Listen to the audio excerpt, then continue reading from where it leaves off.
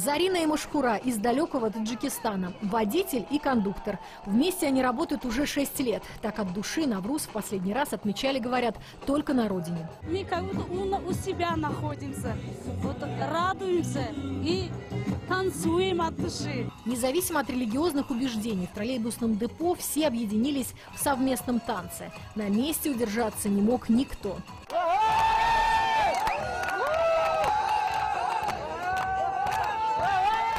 Я считаю это сами правильно, потому что многонациональный в Татарстане, как мы дружно живем, пускай все мир увидит. Праздник наших работников, которые у нас работают в Средней Азии. Это праздник э, наших таджиков, узбеков, киргизов.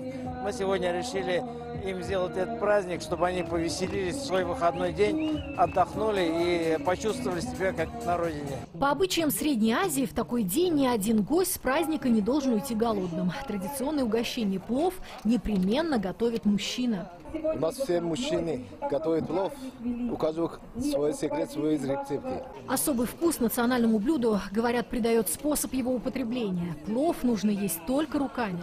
Э, это еще руки вкусные, еще плов тем более. Да. О, так приятно. Еще хочется все есть, понимаешь? Представители тюркоязычных наций троллейбусного депо отметили праздник на славу и своей радостью решили поделиться со всеми на родном языке.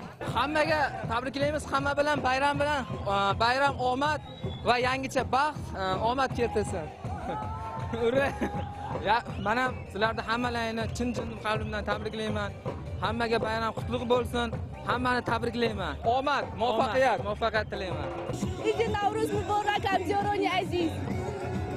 Yangi Navruz bilan tabriklayman hammani. Елена Черезнова, Сукасимова, Дмитрий Рыженко. Телеканал «Эфир».